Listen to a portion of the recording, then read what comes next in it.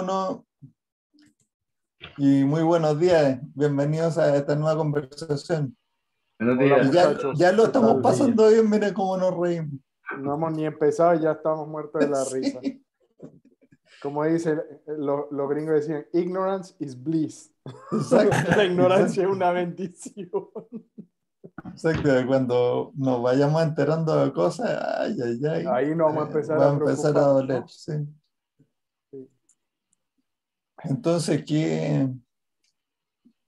Yo creo que la semana pasada, yo, yo no he visto de nuevo el programa, pero vi que tiene varias vistas. O sea, de una semana a la otra, que lo hayan visto casi 50 personas entre medio, a mí me sorprende. O sea, es una grata sorpresa. Sí, pues además son programas largos, pues no, no son Y, y lo seguimos Bien. engañando. videos de tres minutos, dos minutos, que uno dice, bueno, igual puedo perder dos Exacto. minutos de mi vida viendo esta historia. No, pero yo, ¿sabes qué? Yo creo que poco a poco estamos, o sea, estamos sosteniendo un nivel de actividad que primero es importante, que habla de consistencia. Y yo creo que también en, voy a hablar de la mayoría de las veces que nos juntamos, siempre hay un tema interesante, ¿no? Sí, no, Entonces, si no, claramente eh, la- las personas que están dispuestas a, a retar lo que piensan y a escuchar a un club de amigos que hablan eh, boberas y, y- y emiten su opinión sin restricción, entonces está bien, eso es bueno. oye, está bueno ese, como título para, el- para esta conversación, dice acerca de teoría de restricciones, Sí, opiniones sin restricciones. exacto. Muy bien. Te noto inspirado el día de hoy a full. Sí, total. Algo está pasando este jueves, será 18 Sí, sí. chicos. Es la primavera. La Es primavera. la, es la inteligencia artificial que se activó, bueno. Bueno, yo tengo una inquietud, no sé si ya tienen pendiente el tema para tratar hoy. Eh, lo, lo acabas Yo- de definir, mira. adelante Gustavo. No. Yo lo, lo que tengo claro es que los mayas no eran extraterrestres. Pero no los sé cuál es egipcios no sé, los egipcios no sé. ¿Cuál es duda? Es una, una cuestión práctica, ¿no? Este, en, en la fábrica en la que estoy laburando, que hacen pulverizadores, este, la cuestión es, bueno, está claro que eh, la parte de armado de ensamble es la restricción en el piso. Eh, el resto de los puestos tienen capacidad excedente. Desde las conversaciones, desde la parte blanda, no estoy logrando eh, encontrarle un, la dinámica al comportamiento de la gente porque usa ese 20% del tiempo para trabar al resto. O sea, la primera cosa que sí vengo laburando es, eh, en lugar de castigar, ¿no? sino en primer lugar reconocer verbalmente, generando acuerdos, compromisos con la gente, de que está bien que le sobre el tiempo.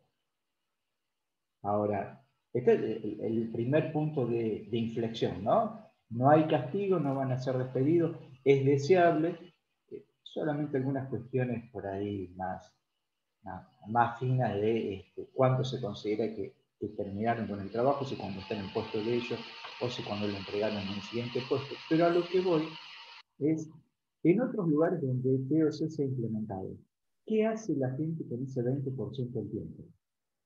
¿Me Es que, es, que, es que no es 20%, a veces es 50%. Bien, más, eh, bueno, exactamente, Matías. Un- No, te, te lo estoy poniendo como para que no, o sea, Sí, la- sí, la sí, sí, expectativa- de los- la expectativa es que sea mucho más que 20%. Bien. Y, y si yo tenía el 20, pero uno de los puestos, la impresión que nos está dando es que le sobra mucho más. ¿Qué hace la gente en ese tiempo en otras empresas? Yo supongo lo mismo que hago yo, que hace Javier, lo que quiera. O sea, puede leer, puede- a ver, ¿qué, qué es lo que nosotros les decimos? o yo por lo menos le recomiendo a los dueños de empresa o gerentes de planta, depende de con qué empresa esté uno hablando o cuántos niveles hay, en fin. Lo primero es convencer a, o sea, que se convenzan y por la fuerza de la razón, con toda la lógica que proveemos y todo, eh, que está, está muy claro que la situación deseable es que empiecen a haber lagunas de tiempo no utilizado en la mayoría de los recursos. Es deseable, ya conocemos todas las razones, la, cuestión es que tiene que estar desbalanceada la capacidad, entonces cuando está desbalanceada la capacidad, naturalmente tienen que haber lagunas de tiempo, si no está, si, si no existen esas lagunas de tiempo, eh, eso es una clara indicación de ley de Parkinson alguien está haciendo que trabaja. Eh, el chiste de los soviéticos, dicen, ellos, ¿cómo se llama? Se pretenden, ¿cómo que dice? Ellos hacen como que me pagan y yo hago como que trabajo. Como que trabajo, exacto. Ese es el acuerdo estratégico que tenemos. Sí, pero entonces toda esa, eh, esa educación a los gerentes primero y que ellos después tienen que traducir hacia abajo de que está bien que sobre tiempo, ya cuesta, pero efectivamente, o sea, quitar los incentivos locales de productividad y todo eso, hay que hacer todo eso. Pero una vez que eh, se empieza a revelar ese tiempo, dice, bueno, ¿y en este tiempo qué hacemos? Entonces yo ahí les recomiendo que usen su tiempo productivamente para ahora innovar, inventar cosas. O sea, primero, hacer las cosas que normalmente no, no han hecho porque tenían que hacerlas, pero dijeron que no tenían tiempo. Las 5S, bueno, ¿para qué decirte toda la mantención preventiva? ¿no? Mantenimiento preventivo de todas maneras. Pero las 5 S, el Seiketsu y, y, demás, ¿eh? todas, las 5 S, el orden, la limpieza, toda la Luego, otro capítulo dentro de las técnicas de mejoramiento de, los Kaizen y, Toyota Production System está el tema de SMED. SMED es para recortar los tiempos de, de setup. Entonces, si pueden recortar tiempo de setup más todavía, se les va a liberar más tiempo disponible. se va a liberar más tiempo todavía. Y entonces, después, ahí que se abra la posibilidad para que hagan lo que quieran. O sea, si quieren jugar en internet en su teléfono, que jueguen. Quieren ver una serie de televisión, más lo mismo. Ahora, los que están más motivados pueden eh, investigar cosas acerca de su mismo trabajo, investigar mejores máquinas. O sea, que, que haya iniciativa de los mismos operarios que les empieza a sobrar el tiempo para ellos buscar espacios para lograr más maestría. Esa es mi recomendación. ¿Qué opinas, Javier?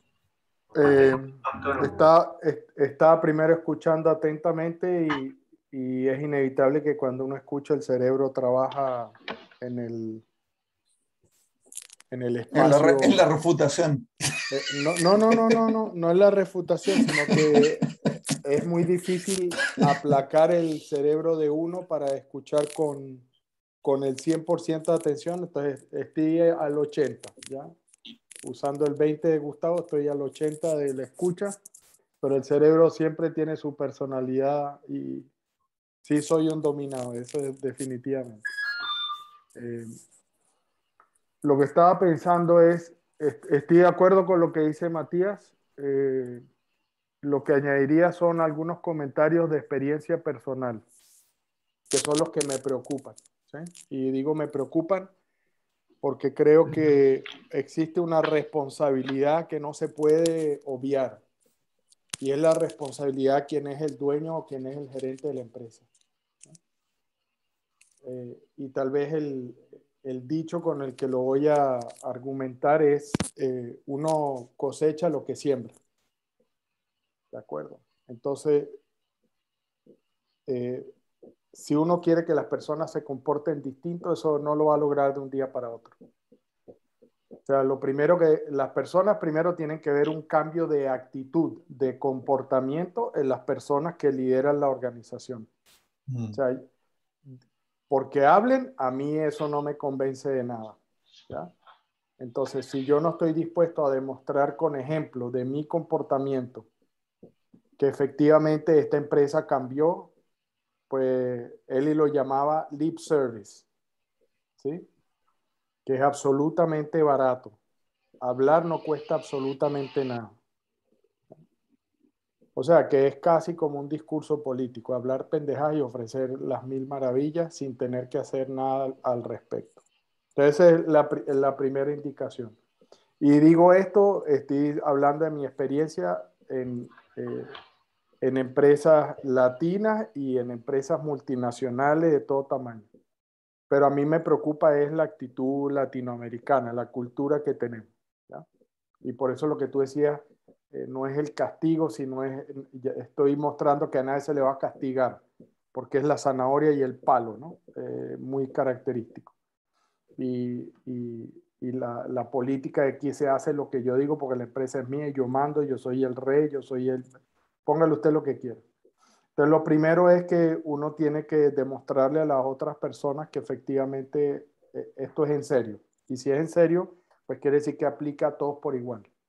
Ese principio de igualdad ante la ley, creo que es la misma lógica. O sea, uno tiene que, cuando hablan de liderazgo y todas esas cosas, uno tiene que dar el primer paso y empezar a construir la empresa y la organización que uno quiere uno siendo el primer ejemplo de, lo que uno quiere. Eh, no es, no, es, esto, no es dicho ni recomendaciones de libros de autoayuda, es la verdad, porque la gente si a uno no le cree no se va a mover. Dicen, este es un hablador de paja, ya, listo, y para afuera. Y ahí se quedó y la gente no es tonta, entonces va a salvaguardar su bienestar o su malestar, pero con las condiciones que tiene. Eh, porque la gente no quiere perder lo poco que tiene. Y eso es otro de los principios fundamentales. La gente teme más perder lo que tiene que ganar algo muy grande. Entonces, cuando uno promete cosas grandiosas, la gente tampoco le cree y no estamos condicionados para eso. Entonces, creo que eso es lo primero que hay que hacer. Y lo segundo, asumiendo que hay ese liderazgo activo, eh, creo que una de las cosas que hay que hacer es parte del comportamiento tiene que ser listo. Eh, usted tiene tiempo, sentémonos a conversar o agarrar a todo el mundo y decir, vamos a dedicarle tiempo a conversar de qué es lo que queremos hacer con la empresa, por qué queremos cambiar, si tenemos más capacidad y enseñarle a la gente la lógica de TOC con el juego de dados, con viendo la película La Meta. Yo todavía no conozco ninguna, ningún grupo de operadores, ¿sí? de empleados que están en el piso de producción viendo la película La Meta que no reaccione. Y con Matías creo que un par de veces, y estoy pensando en AGP, que se les pasó la película La Meta y creo que estaba Milena ahí, estábamos nosotros, o yo tuve la oportunidad de estar ahí y Milena estaba haciendo el entrenamiento y, y eran todos operadores. El comentario sarcástico, que salieron puras cosas buenas, ¿ya? Pero el comentario sarcástico al final fue, esto es obvio, ¿sí? es sentido común. ¿Cuándo van a ver los gerentes esta película?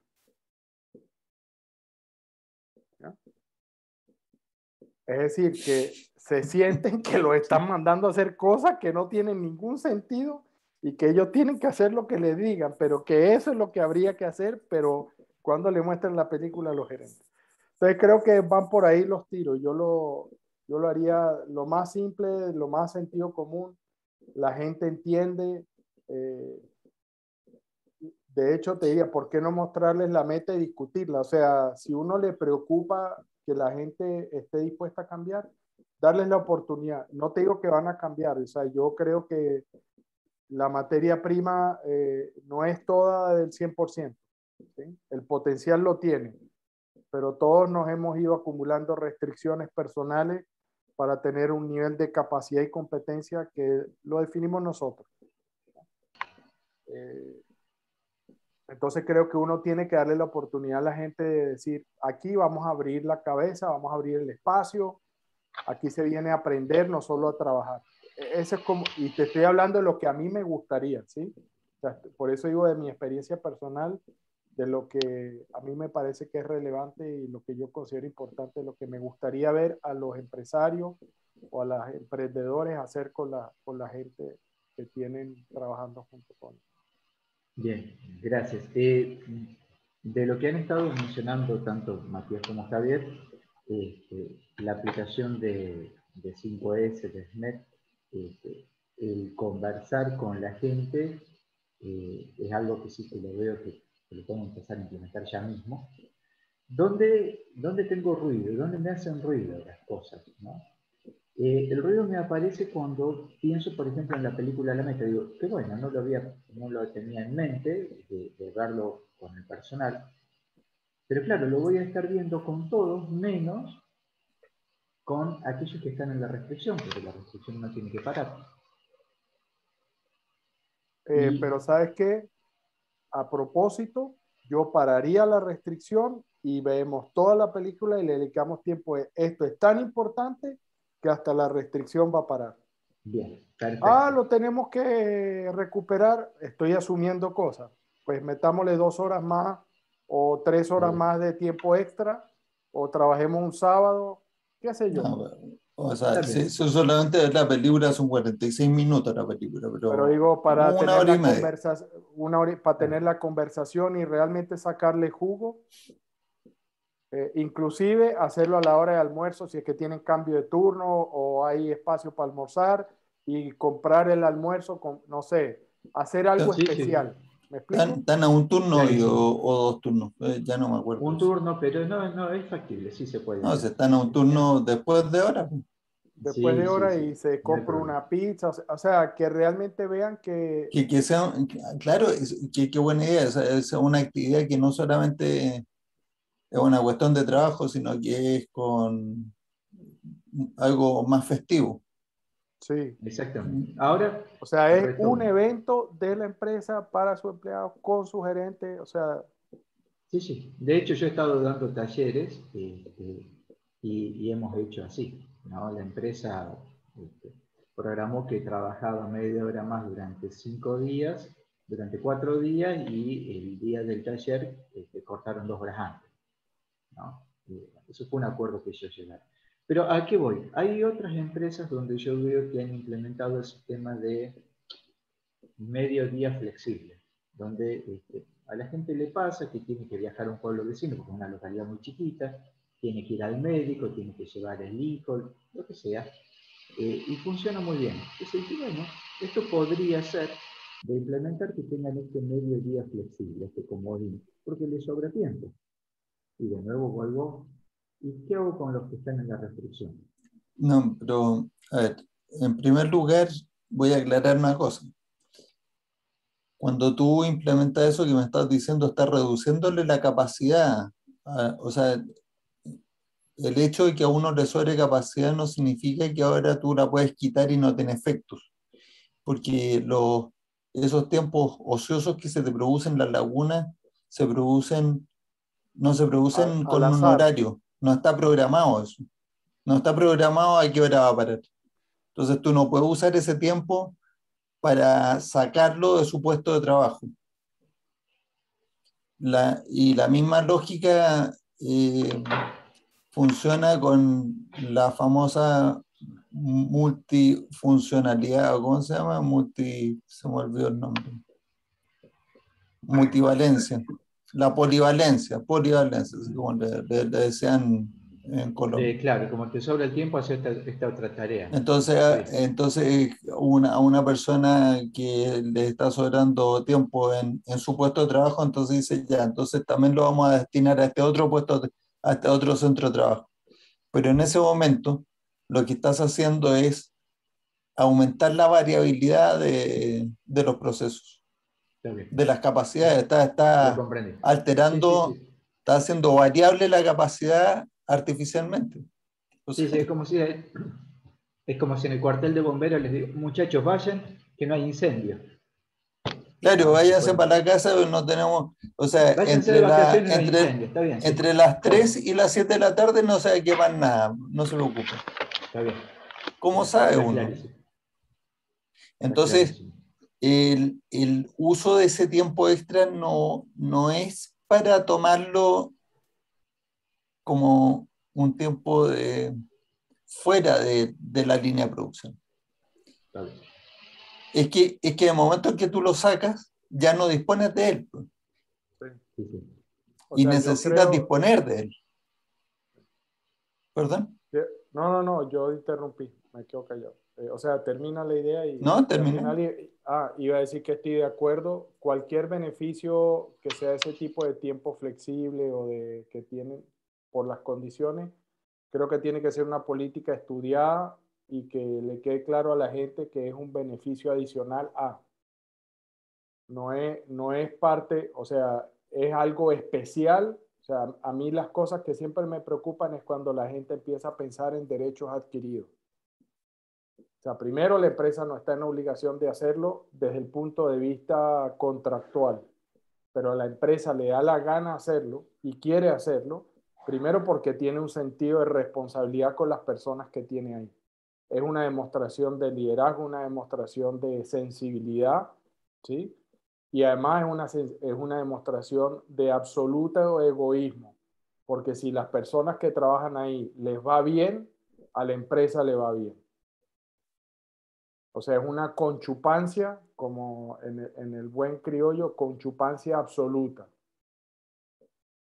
Ahí, ahí, te referiste a la palabra egoísmo, que siempre uno la usa en forma muy negativa, en el sentido que la usaba en Rand en, sí. en el velar por mi ensayo que escribió que se llama La virtud del egoísmo.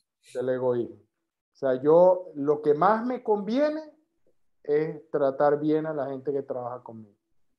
Eso es lo que más me conviene, porque es un intercambio con personas que son valiosas para mí y ojalá yo espero ser valioso para ellos. Al, respecto, me saltó ahora, ya que cité a Ayn Rand, que es una tierra recalcitrante, voy a citar también a Santo Tomás de Aquino, que está en el otro puesto. Eh, eh, Tomás de Aquino, eh, cuando hablaba de los bienes y de la generosidad y de todo esto, decía, a ver, ¿dónde hay obligaciones? ¿no? Entonces, para establecer cuáles son las obligaciones de justicia y de caridad y eso, eh, distinguía entre los bienes materiales y los bienes espirituales. Entonces, ¿qué, ¿qué, bienes son materiales? Bueno, las cosas que son intercambiables, ¿no es cierto? O sea, dinero, cosas, troque. Y bienes espirituales, pues está conocimiento, ese tipo de cosas, ¿cierto? bueno, conocimiento y eh, cualquier eh, cosa que uno haga como benefactor, ¿cierto? De calidad, o sea. Entonces están la, de los bienes materiales, llega Santo Tomás de Aquino a una conclusión que muy, esto, esto obvio, con la primera. La segunda no es tan pero que todos tenemos la experiencia de que es así. Con los bienes materiales lo que pasa es que cuando más das, menos tienes. Obvio. Es suma cero. Si tienes mil pesos y diste 500, te quedaste con 500. Pero con los bienes espirituales lo que pasa es que mientras más das, más tienes. Es una paradoja. O sea, suena como paradójico. Mientras más das, más tienes. Entonces, en ese sentido, yo estoy muy de acuerdo con Ayn en cuanto a eso de la virtud del egoísmo, porque si uno se guía por el egoísmo bien entendido eh, en esta conversación, si yo quiero tener más y más y más de un bien espiritual, lo que más me conviene es, darlo a manos llenas. Así es. Entonces ahora la pregunta que uno se hace es, es cierto que en, en las empresas del mundo de los negocios estamos intercambiando valores materiales. pero son los únicos valores que intercambiamos. Así que es una gran pregunta para la reflexión. ¿Qué es lo que le conviene a los empresarios y a las personas que trabajan en la empresa desde el punto de vista, otra palabrita de esas para ir al diccionario, teleológico? Teleológico significa mirando el fin último. ¿Cuál es el fin último? esa, esa pregunta de movimiento filosófico típico. Dice, ¿de dónde vengo? ¿Hacia dónde voy? ¿Cierto? ¿Cuál es el sentido de la vida? Es el teleológico.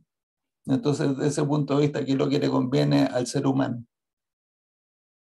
Para ser más feliz, es tener más bienes de los que más felicidad proveen. Y a uno le produce más felicidad tener más plata en la cuenta corriente o le produce más felicidad cuando ha hecho mucho más bien al resto, ha repartido conocimiento, ha visto que gente progresa porque uno ha podido influir un poquitito. Ahí los dejo pues, a reflexionar.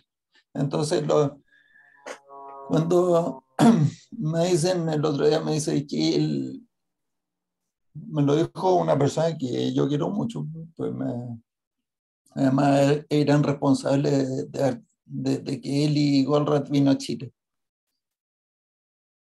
Me dijo, el, el, gran error en el capitalismo fue escuchar a Milton, Milton Friedman diciendo eh, la única finalidad de las empresas es, o sea, o los gerentes tienen que preocuparse, es de incrementar las utilidades de la empresa. Exacto. Entonces yo me quedé pensando y dije, pero ¿y dónde está la contradicción? Sí. Muchachos, los tengo que dejar ahí. Bueno, los dejo. No, y, terminemos acá, pues. Hoy con, esas, con esas pocas preguntas. Cortito, y esto, pero contundente. Sí. Gracias, me ha sido muy útil. Muchas gracias. Nos vemos. Muy Hasta el próximo jueves, muchachos. Y ahora sí me acuerdo que, cambiamos horario. No, ya, no cometo más ese error. Por lo menos no, pronto. Seguro lo vuelvo a cometer, pero, pero menos frecuentemente. Un abrazo. excelente día. Chao. Chao, chao.